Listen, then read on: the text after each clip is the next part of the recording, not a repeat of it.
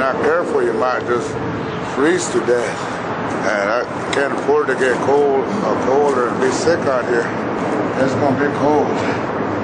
They stayed down here and it was like 20, 30 below zero. You just gotta have a whole bunch of blankets. One time I went to sleep with my head out of the covers and my uh, my face got uh, I don't know, uh, like a frostbite skin turned black. Man, that was that was scary. That scared me.